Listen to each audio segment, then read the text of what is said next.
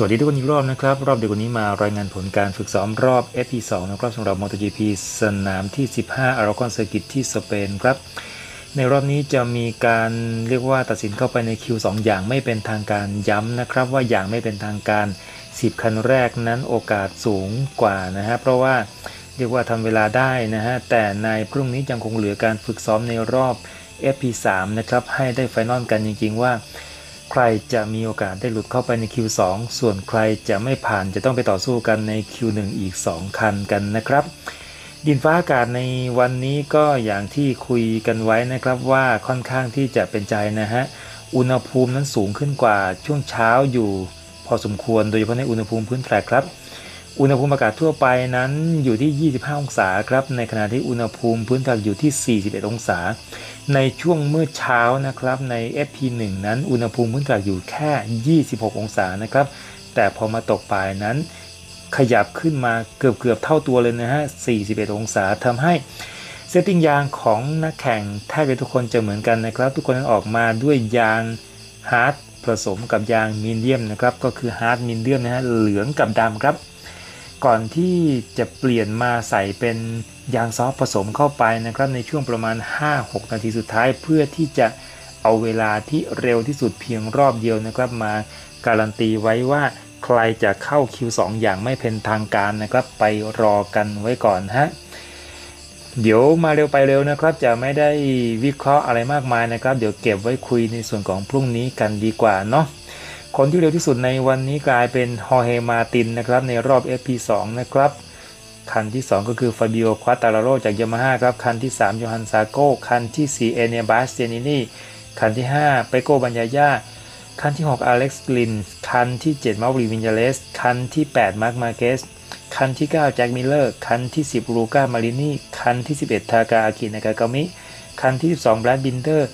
คันที่13อเล็กซ์เอสปาการโรคันที่ 14 ฟรังโกมอร์บิเดลี่ คันที่ 15 มิเกล โอลิเวียร่า คันที่ 16 ฟาบิโอดิจานอันโตนิโอ คันที่ 17 มาร์โกเบซเซคกี้ คันที่ 18 อเล็กซ์ มาร์เกซ คันที่ 19 คาลครัทช์โลว์ คันที่ 20ดาร์รินบินเดอร์ คันที่ 21 จวนเมียร์ คันที่ 22 ราอูลเฟอร์นันเดซ คันที่ 23 โปลเอสปาการโร และคันที่ 24 ปิดท้าย เรมี่ การ์ดเนอร์ กันนะฮะ มาดูที่ความเร็ว top speed นะฮะสูงสุดที่เกิดขึ้นในทางตรงประมาณ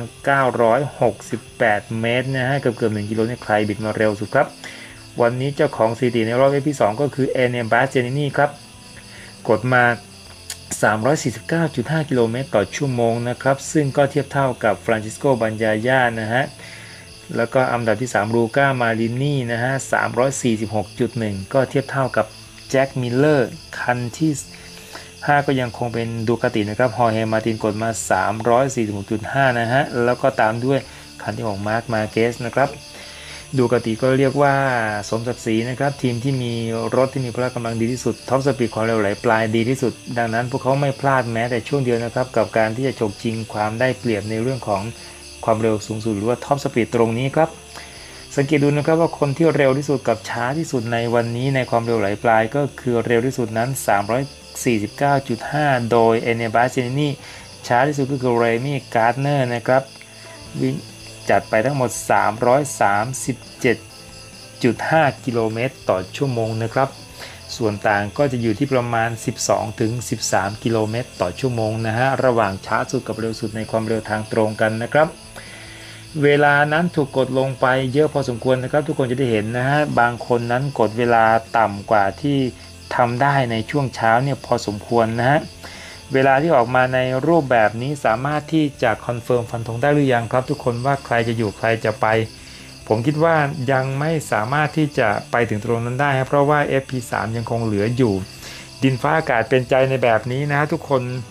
ในพรุ่งนี้เนี่ยน่าจะมีนักแข่งบางคนนะครับ ที่ผลงานอาจจะยังไม่ดีพอนะครับ ยังไม่ติดใน top 10นะฮะหรืออาจจะยังแกว่งๆอยู่เนี่ย มีโอกาสที่จะแก้มืออย่างสูงเลยนะครับใน FP3 พรุ่งนี้ แต่ในเรื่องของ setting ยางนะครับทางแต่ละค่ายแต่ทีมต้องคงไปไล่กันใหม่ใน FP3 เพราะว่าเราได้เห็นนะฮะว่าความต่างมันค่อนข้างที่จะเยอะพอสมควรในเรื่องของอุณหภูมิกันนะฮะก็ต้องเลือกยางเลือกอะไรกันให้ดีๆ แล้วเป็นสนามวนซ้ายกันด้วยครับ ดูคาตินั้น parade กันเข้ามานะครับในรอบ FP2 เนี่ยโอ้ก็เรียกว่าอลังการงานสร้างเช่นเดิมนะครับ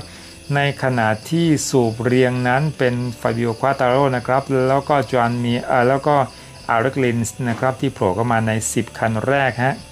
ในขณะที่อาพริเลียเองนั้นก็พลิกโผพอสมควรนะครับอเล็กซ์เอสปาการโรล้มไป 2 ครั้ง 2 คราวติดกันนะครับ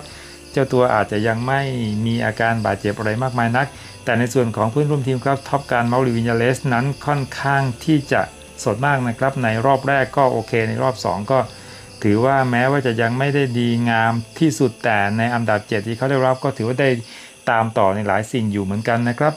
เซอร์ไพรส์อีกอย่างหนึ่งก็คือมาร์คมาร์เกซนะครับในรอบนี้กดเวลามาคันที่ 8 จริงๆ แล้วมาร์คแถบแดงมานะครับ ใครได้ดูการซ้อมการถ่ายทอดสดเนี่ยเราจะเห็นได้ว่าไปพลาดนะครับในตรงแถวแถวๆโค้งช่วงในท้ายใน sector สุดท้ายเท่านั้นนะครับเพราะว่าก่อนหน้านั้นเนี่ยอัดแถบแดงมา 3 แถบนะครับทุกคนคิดดูว่าเขาน่าจะจบอันดับที่เท่าไหร่ คิดว่าไม่หนึ่งก็2เนี่ยมีเหลือๆนะฮะแต่มันก็ไม่เกิดขึ้นแล้ว เขาก็ยังทำเวลามาคันที่ 8 นะครับก็ถือว่าไม่ธรรมดาเลยนะฮะแล้วจากนั้นไปก็กลายเป็นดูคาตินะครับโผล่เข้ามามาร์คมาเคสยังคงเป็นนักแข่ง Honda ที่ทำผลงานการฝึกซ้อมรอบไฟนอลได้ดีที่สุดนะครับดีกว่านาคากามิเสียอีกนะฮะแล้วก็ในส่วนของ Yamaha เราได้เห็นนะครับว่าเกิดความแตกต่างอีรอเดิมกันกลับมาแล้วนะครับ ในช่วงแรกๆ FP1 นั้น ทุกคนจะเห็นเวลาของแฟรงกี้นะครับตามหลังควาตาราโร่แค่นิดเดียวเอง แต่พอเสร็จสิ้น FP2 ไปแฟบขึ้นมาที่ 2 นะครับ ในขณะที่ในขณะที่มอร์บิเดลี่นั้นอยู่อันดับที่ 14 ก็ถือว่าเป็นอันดับที่เขาคุ้นเคยเป็นอย่างดีนะครับ กับท้ายๆตารางอยู่ในตรงนี้นะฮะทุกคนแล้วก็นักแข่งน้องใหม่นะครับ ก็ยังคง parade กันไปนะครับอยู่ใน ท้ายๆแถวเหมือนเดิมนะครับ คนที่ดีที่สุดในน้องใหม่วันนี้ก็กลายเป็นนักแข่งนะครับจากอิตาลีนะครับอไอหนุ่มหัวฟูงเรานะครับก็คือมาโกเบเชกินนะครับในอ้อไม่ใช่มาโกสิครับเป็นคันที่ 16 ของฟาบิโอดิจานานโตนิโอต่างหากนะครับขอไปด้วยนะครับ ในขณะที่คาสโรนั้นมวยแทนนะครับ แต่จะต้องอยู่ยาวเนี่ยทำที่สุดแค่อันดับที่ 19 นะฮะทุกคน แล้วก็นักแข่ง big name นะครับที่ไม่มีรายชื่อโผล่เข้ามาใน 10 คันแรกเนี่ยทุกคนมองว่าเป็นใครกันบ้างนะครับ แน่นอนนะครับเรามองไปที่คนแรกเลยอเลสเอสปาโกโลครับหมายเลข41 มาในคันที่ 13 นะครับ ในขณะที่โจอันเมียร์นะครับบาดเจ็บฟื้นกลับมาจากที่นี่แต่ยังคงกู่ไม่กลับนะฮะโจอันเมียร์อยู่นู่นนะครับอันดับที่ 21 3 4อันดับท้ายๆนะครับ ในขณะที่โพล เอสปาร์กาโรของเรปโซลถ้ามันเกิดอะไรขึ้นกับเขานะฮะ รถก็รถน่าจะแบบว่าเป็นสเปคเครื่องยนต์เดียวกันนั่นแหละมาร์คมาร์เกซร่างกายยังไม่สดกว่าเนี่ยก็ยังสามารถที่จะปรับเนื้อปรับตัวได้นะครับเอสปาร์กาโรนั้นเวลาไปอยู่นู่นนะครับในรองบ๊วยคันที่ 23 กันเลยทีเดียวนะครับ แล้วก็ใน 10 คนแรกมีรายชื่อพลิกโผไหมฮะ ก็ไม่พลิกนะครับ รายชื่อนักแข่งเป็นระดับ big name เท่านั้นนะครับที่โผล่เข้ามาหลังๆ เหมือนลูก้ามาดินี่จะติดโผล่เข้ามาบ่อยเหมือนกันนะครับ วันนี้ก็มาในคันที่ 10 กันนะครับทุกคน ช่องทางการรับชมนะครับ พรุ่งนี้ยังคงมี 2 ช่องทางเหมือนเดิมนะครับ ก็คือ